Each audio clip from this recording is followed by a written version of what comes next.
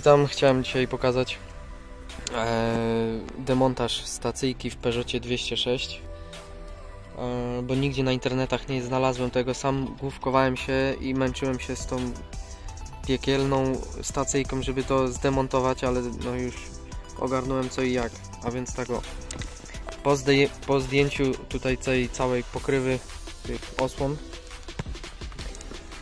ściągamy ten plastik on schodzi delikatnie. Odsuwamy go na bok.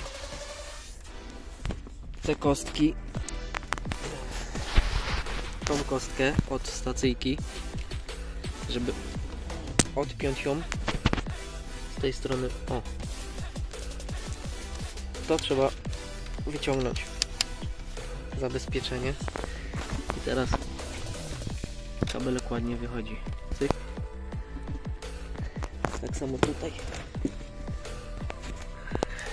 Tu się też nagłówkowałem trochę, żeby to diabelstwo wyciągnąć. Tu jest taki plastyczek zab- zablokowany, trzeba go nacisnąć z jednej i z drugiej strony. To jest raz. A dwa. Tutaj podważamy śrubokrętakiem. Cyk. Do samej góry ciężko trochę chodzi.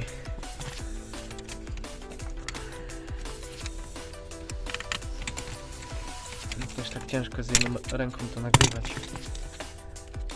No i tak to wygląda. No i jeszcze ten został.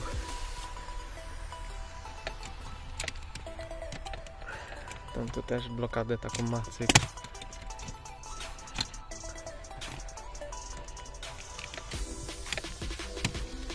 I wychodzi. Następna sprawa, żeby wyjąć sta samą stacyjkę. Teraz, żeby stacyjkę wyjąć z tej całej obudowy, potrzebny jest klucz od stacyjki. Bo ogólnie, żeby ją wyjąć, to tutaj jest taka blokada. Tak jak tutaj widzicie. I tego nie idzie ani wcisnąć, ani teraz w tym momencie nic, nie? Wkładamy klucz do stacyjki. Przekręcamy pozycję tak jakby środkową. I, i teraz już można nacisnąć i wy, wyciągać stacyjkę. Tylko mi to jedną ręką nie dam rady tego zrobić. No i tak to wygląda ten pieron diabelny, który mi się zepsuł.